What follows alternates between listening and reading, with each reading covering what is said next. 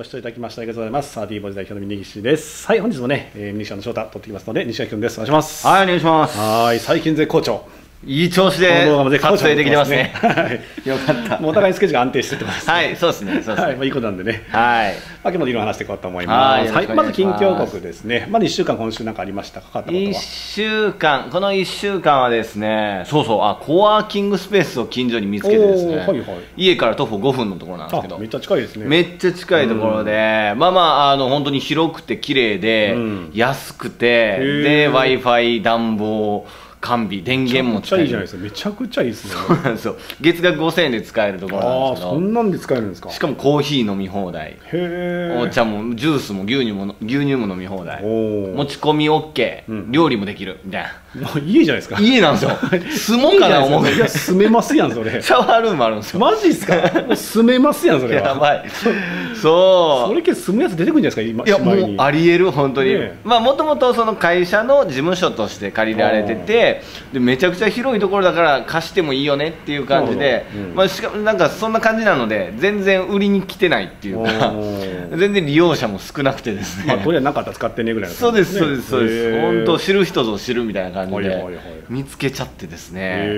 もう本当まったり、あの、で、もう集中するときはめちゃくちゃ仕事も集中できるし、ね。っていう環境を僕は手に入れたので。いやーだって5000円で事務所借りちゃったら凄まじくいい話ですからね。そうなんですよ。家賃家賃と言えないですもんね。家賃っていうもんレベルじゃないぐらい、もう本当に、もう、あの飲食、その、なんですか、ドリンク代だけで5000円も元取れちゃうぐらいのもんなので、そう、それが手に入れたので、もう撮これから影もういう動画とかの。もう全然 OK。個室として使ってもいいよみたいなところもあって和室もあってなんとそこに治療用のベッドも2台あるんですよ。マジっすか？なんなんそれみたいな。それ？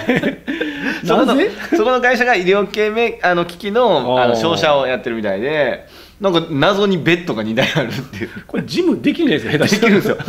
で、まあ、ジムできますよ。そうオーナーさんと喋ったら全然パーソナルトレーニングしてくださいみたいな。マジっすか？えー、みたいな。月額5000円みたいな。ああこれ来たっていうね。そうやばいところを見つけてしまったみたいな。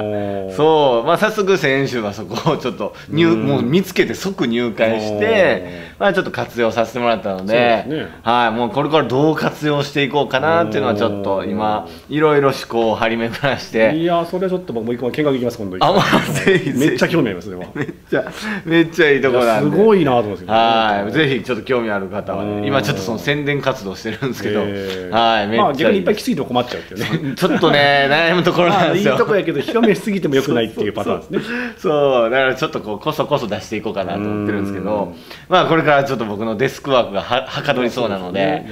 はい、よかったです、この1週間は。ど。ね。はい。根岸先生はどうですか？何かありますか？僕はね今週まあ本当ね実はつい昨日のことなんですけど、はい。クラブハウスをねあ 登録しまして。ついに。いやー来ちゃいました。来ちゃいましたまあ、ね。けど一応僕ね最初だと様子見姿勢やったんですけど、そうでしたね。性感しますよってことはまあ動画も上げてましたし、まあ発信しなんですけどね、うんまあちょっとある機会がありまして、まあ、結構ね某有名トレーナーから、はい。クラブハウスでしゃまあ喋りませんかっていう依頼がね来たのであこれはもう行こうと。あーなるほど。まあ、理由ができたんで一応参戦しようと。なるほで昨日ど。登録しましたとういうん、形ですね、うん。早速使ってみはりましたか？まあ、まず聞く側ですけどね、うん。いろいろ聞いてみてって思って、うん。まあいろいろ聞いてみたんですけどね、うんどうです？まあまあ確かにあの、まあ、いろんなルームがまずあるなっていうのまあルームってそのみんな会話してるね、まあ、グループっていうんですかね、うんまあ、そういうルームっていうんですけども、うん。まあ、いろんな各、まあ、ルームを開いてると、はいまあ、そのルームごとにいろんなテーマがあってそれで喋ってるって話なんですけどうね、ん。まあ、基本的にまあ雑談がベースなんでね、はいはいはい。一個のテーマにおいて雑談しますよってことの、まあ、いろんなルームありますよとはいはいはい。いう形で、まあ、ありまして。うんで。まあ、見てる中でやっぱね面白いとか、まあ、いろんな、まあ、自分の専門外のこといっぱいあるんでそっち結構入ってたら面白いなとへえ。そこだからも気軽に入れるんですか？あ僕全然その乗り遅れてるんですけど。アンドロイドユーザーっていうね、まさ全く入ってないちょっとひどいです、本当。アンドロイドも入れてくれって感じなんですけど、全く入れないんで。なんとか、まあ、多分すると思うんですけどね、もちろんねですけどねうんもう時間かと思うんですけど、まあ、とにかく iPhone ユーザーだけしか、はい。どんなか、ど、どんな感じなんですかね？本当にまあ今言った他人が雑談してるんで例えばカフェで違うところで雑談してるっていうのを普通にヒュッと入っていけるって感じですね。あーもう気軽に入れるんです全然か全然ルームはが開いてるそこにタップしたらもうそこにスッと入れると。ではあ早速話始まってますみたいな。へ全然まあもちろんあのルームとかの閉鎖することもできない閉鎖とかあのアウトアウトプットしないとかね。あ、なんかこう、プライベートな。プライベートグループもできますけど、はいはいはいはい。まあ、大体はもう全部発信 OK ですよみたいな感じでやってると、まあ、好きななんか興味あるテーマあったらそこをタップすれば聞けるというやつですね。なんですけどね。なるほど、うん。だからトレーナーが新しい、まあ、例えば見識広げるとか、うんうんうん。えー思考回路ちょっと変えていこうと思うんでしたらそういうとこ入っていった方がいいかなそっかそっか。むしろ業界内のやつに入らない方がいいと思いますこれ。あああえて。あえて。あえて。あえて業界内での会話、まあ、もちろん入ってもいいんですけども、うんまあ僕が活用するんだったら、まあ、本当にそれは本当に聞きたい人だけに絞っていって、うん基本的に僕業界外の話に行こうと思ってます。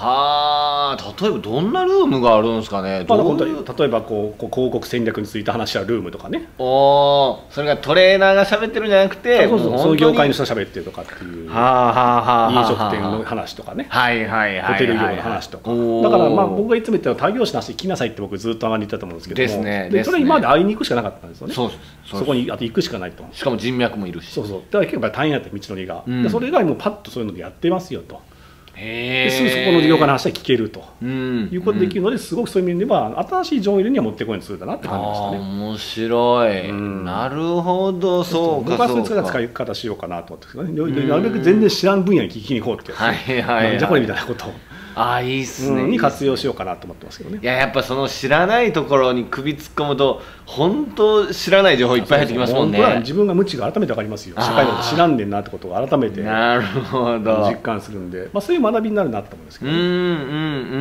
んうん。いいですね。そうそう。まあ、多分そういう業界い内でもいいんですけどもちろんね、うんうんうんうん。まあ、尊敬するトレーナーさんがいるとかね、やはいはい。興味ある方ってからもちろんそれも聞いていいと思そううんでけども。ですすね。そうですね、うんいやそういう使い方もできるってことですよね。まあ、それ作業。が基本的そうですからねね。まずは、ね。うん僕やったら他業種行きます。よってだけですけど、いやーいい面白い,、うん。いやなかなかそういう話って聞くのもすごくハードル高いですし、うん。なんかセミナーとかやってるんですよね。なんかこう、うん。ね、広告戦略のセミナー、ね。ビジネスセミナーとかあるんですけど、うん。ちょっとうさんくさくて、まあね。なんかそのなセミナーやってたらそこの会場に入るのとかも結構怖いので、うん。まあそこをポッと入れるっていうのはいいですね、うん。やっぱセミナーっていうのはバックエンドがあるじゃないですか。必ず何か売るためにやるとかこれ入ってもらうためにやるわけですから、うん。ここは本当にず純粋に雑談とか思いのこと喋ってるとか業界の喋ってるだけなんでそういう売り込みがないんですよね。なるほど。基本的には。はあ。だから傍観でき傍観者で聞けると、うんうんうんだから安心感もですよね。で家やったらすぐ出たらいいんですね。あなるほど。うん。怪しいと思ってすぐ出たらいいだけなんで。いやいいいい、うん。だから使い勝手はいいなと思うんですけどね。気軽にですね、ああなるほど。いやーぜひ僕も使いたい。そうそうそう。まあ本当これは成長につながっていくってことですごく、うんうん。まあ、本当に今の時代で便利だったなと思うんですけどね。そうですね。もう本当勉強する成長するツールがいっぱいありありますよね。ますあります、うんでただ僕らの若い頃ってね例えば10年前20はい。代、10年前20代、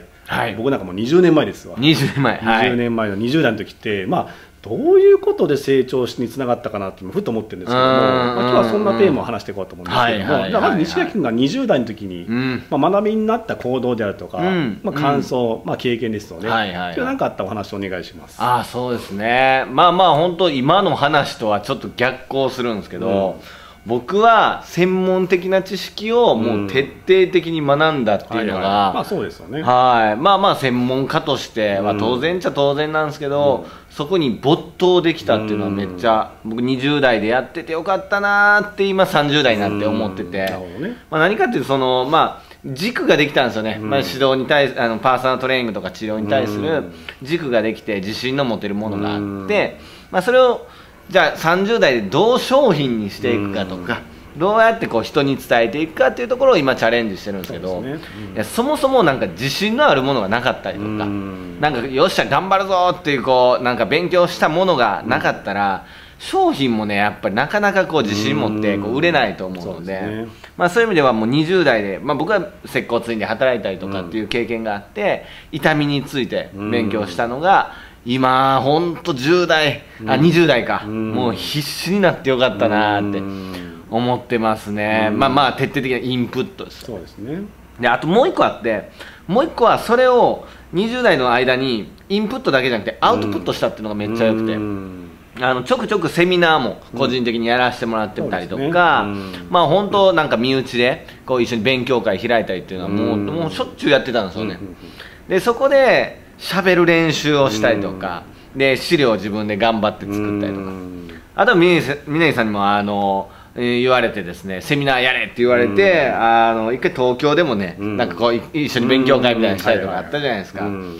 まあ、やっぱりそういう環境ってあのチャレンジしないとやっぱりね良さは分かんないんですよ。ね。もうめっちゃしんどかったんですけどうん。そういうセミナーの資料を作るとかっていうの、うんまああのアウトプットをするっていうのも、インプット同時にできてたっていうのが、うん。あの僕は今になってあよかったなって思ってるんで、僕が良かったのはインプットとアウトプット。この2つですね。うん。それがもう一番良かったですね、うん。確かにまあそこ大事なとこですよね、うん。まあ、基本なんですけども、今意外とやっぱこの両立できてない方がいまだに多いっていうのはねそうっすポインねトかなと。どうしてもインプットに偏りがもちねですです、まあ、勉強は頑張ってます。セミナー行ってます。聞いてます。うん。はあるんですけどそれと合わせてアウトプットするとうん。本当知識って整理されるし。そうですね。はい。すごい簡素化されたりもするのでうん。めっちゃおすすめなんですよねそれは。うん。なんで僕は20代の人にはもうぜひインプットも大事。だけどアウトプットもやってねっていうのは、うんはい、よく伝えるようにしてますね。そうですね。はい。うんなるほどね。み宮井先生どうですか、20代アウトプットとかってなんかこいうや意識してやってやりました？まあ、まずね20年前ってまだピンときます？20年前。ですだから、えー、西崎君が10代とかですね。はいはいはい。学校の頃って、はい、20年前僕10歳ですからね。小学生ですからね。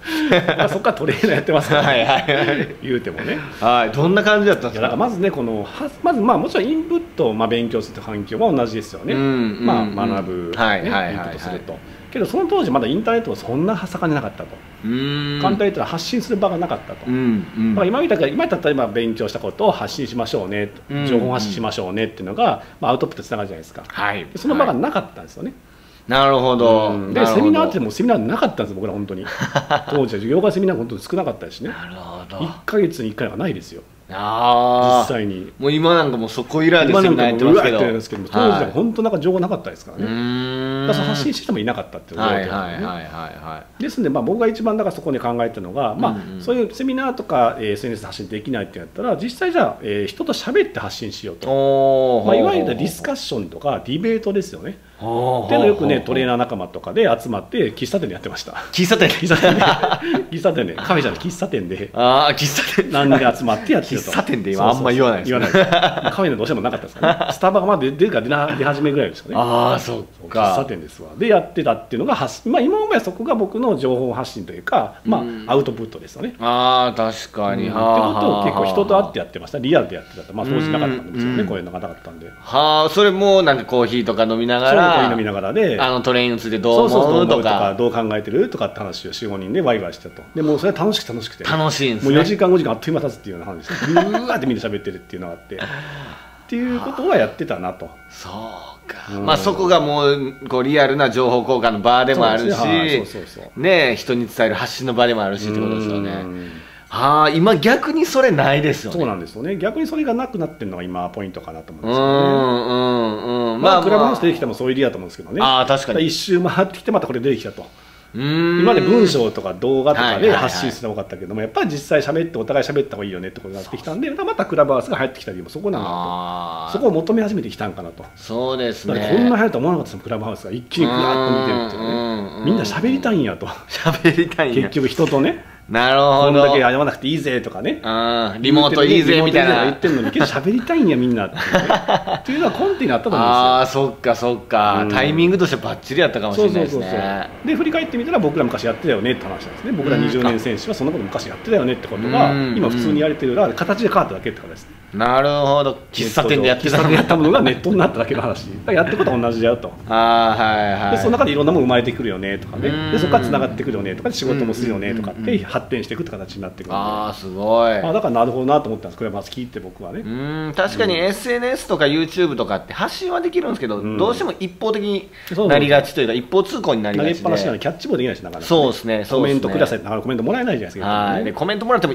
一一件もらってこそうそう。う繰り返しにはならないですよね。ワンクッションしかないでしょないですね。けど結局会って喋ってくださいずーっとそれができるわけだからやっぱまあ濃いですよね、うん思考もかなり深くなそうそうそうりますよね。そうそうでそれがやっぱ最終的に指導に生かせるんですよ。喋るってことは相手の顔を見て喋るってことはその現場の指導に生かせる結局ね。表現力だとか話の流れとか構成あとちゃんと緩急つけるとか、うんうんうんあと感情どう入れるかってこと全部考えて喋るようになってくるから、うんうんうんもう回転が速くなってくると、確かに。で指導の質が上がるんですよ。うね、んうんっていうことを僕らってやってたなって今思えば、ああそれをねうん。うんなんか後々なってあやってたなっていうことありますよねはいはいだから20年選手のトレーナーで強いのはそこの理由もあるんですよね、うんうんうん。知識技術だけちゃいますよと。やっぱディベートした経験って多いっていうのは多分あると思うんですみんな、うんそうか。だからそれもねきっと当時全員がやってたわけじゃなくて、うん。ねこうやっぱそういう場に赴こうとか、うん。そういう人脈ちゃんと作って活動されてる方がやられてたんやなと思うんで、で本当上下がなかったんでみんなそこ行くしかなかったんでやっぱみんな貪欲でしたやっぱその当時ってやっぱり。うん。あそうですうかん。遠慮とかする人いなかったですもんね、はい。なんか会やったらすぐみんなわー集まってきましたもんね。断ってたぐらいちょっとね人数多かったんで、はいはいはいはい。ピザとはい壊れちゃうんでっていうことで4人限定でとかってやってましたもんね。うんうんう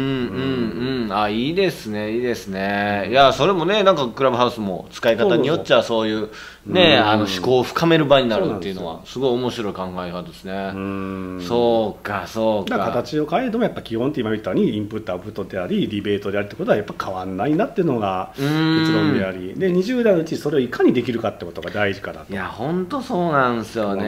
ね。そう僕も本当にアウトプットしてあ下手くそやったなとかうん。まあセミナーやってみたけど全然伝わらんかったなみたいなことをいっぱいこう経験して、うん。あちょっと伝えられるようになってきたなとか、うん。コツとかっていうのがやっと分かってくるのでそうですね。でも今ってなんかこういろんな情報がキャッチできるじゃないですか、うん。プレゼンの方法も YouTube 見たらいっぱい出てくるし、ね。はい。本もあるし、うん。情報がありすぎてこうインプットで満足しちゃうってことも多いのかなと思うので、うん。そう今度僕もあのアウトプットの場をちょっと作ろうと思ってて、うそうですね。うん。そうなんですそうなんです。あの、まあ、僕自身がそうやってねアウトプットやってよかったなってうん。心から,、心から思ったので、うん。あの僕より下の世代の人たちにも、うん。そういうきっかけをね、うん。ちょっと僕から言えばプレゼントしたいなと思って、うん。今度トレスタチャレンジセミナーってう言って、ん。まあ、僕のセミナーに以前受けてくださったうん。人たちが、えー逆に次は発信する側になろうっていうので。ねそうなんですそうなんです。まあ自分の得意なことをうん。1時間セミナーやってみようって言ってうん。そうこの前もう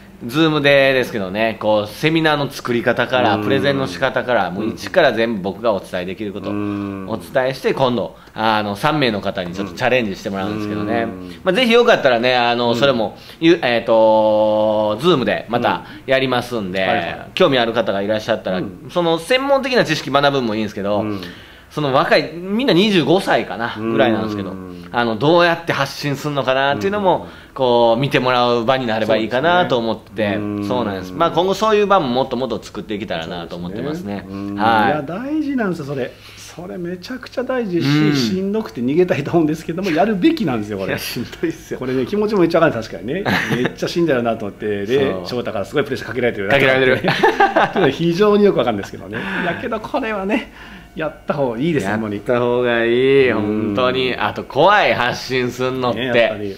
本当にセミナーやるとかって、まあ、突っ込まれたらどうしようとかねなんか業界の先輩とかにこれは違うとか、うん。なんかそんなねレベルの低いこと発信していいんだろうかとか本当に悩むと思うんですけどね。もう発信していい。うん。本当そこに関してもねいろいろから破っていかんとあかん時代になっちゃいましたそうすですね。本当にそうです思っねてても誰も見てくれないよって話ですよね。ですね。もうだんだん割ってってだんだん進んでいくってことをしないといけない時代なんですよ時代が時代で、うん。ここに気がつかないとやっぱね悲しいけども淘汰されてしまう側に行くよと、ね。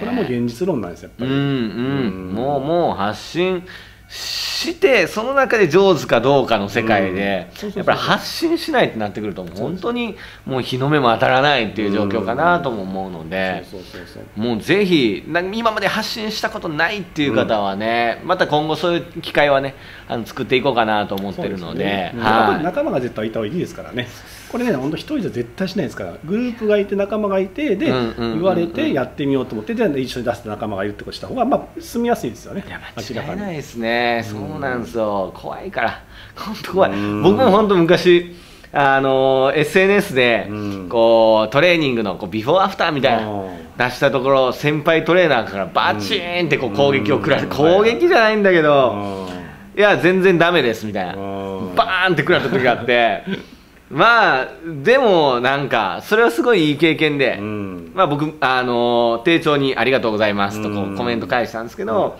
あそんなことは全然あるんですよね。あるんですよね、うん。だけどまあなんかそれもいい経験と捉えてほしいしで、うん。本当ね業界の優しい人って発信して間違ってたらめっちゃ丁寧に教えてくれはるんですよね。まあ、だから指摘ちゃんとしてくれる人もいますからね。それ学びになるんでだから悪いイメージなくてあありがとうございますって受けたのが、で、うん。うん。その学んだことは今度指導に生かせるわけですからね、はい。それに関してはもう絶対ありがたい話なんでね。言われないと分かんなくて失敗してることってありますからね。そうなんですよね。この価値大事なんですよね。ね失敗してんのに気づいてないって一番そ怖いれが一じゃないですか。番悪いですしね。ね読者に対して一番悪いですからね。間違った情報とか間違ったことを伝えちゃうってことになっちゃうんで、うんこれ一番やっちゃいけないことトレーナーとしてはね。正しい情報正しい結果を伝えるのが僕らの仕事ですから、だからうん。辛い思いしても学びがあってか悔しくても悲しくても受けるんですそれは。そうですね、うんそうですね。僕もそこ悔しくてめっちゃ勉強しましたから。